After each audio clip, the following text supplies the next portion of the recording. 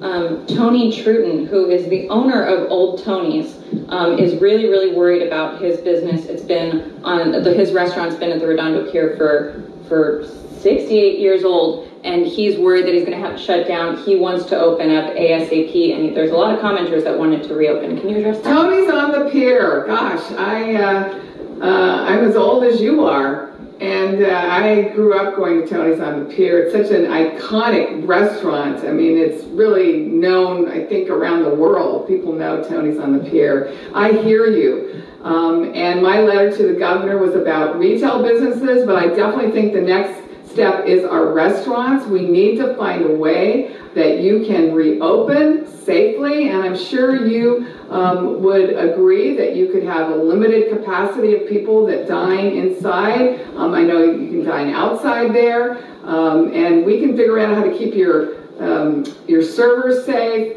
And we want to do that. I think the governor is close to allowing restaurants to open. I'm feeling like he might make that announcement in the next couple of weeks with a limited percentage of people. Um, the first thing I heard was 25% uh, of your capacity. I'm going to try to push for a little more than that because I know that's not going to give you the revenue that you probably really need right now to hire your your chefs, your cooks, your waiters, your dishwashers your servers. Um, so I hope we can loosen that a little bit and give you more more people in your restaurant. We don't want you to go under, but I, I hear you 100%. The longer we keep you closed, the harder it's going to be for you to reopen. And there's a lot of people that have depended on you, not just for great food and a great environment, uh, but for their jobs.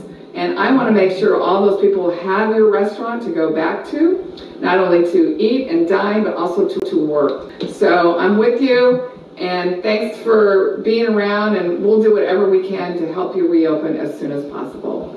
Tony's on the Pier, and uh, I grew up going to Tony's on the Pier. It's such an iconic restaurant. I mean, it's really known, I think, around the world. People know Tony's on the Pier. I so I'm with you. And thanks for being around, and we'll do whatever we can to help you reopen as soon as possible.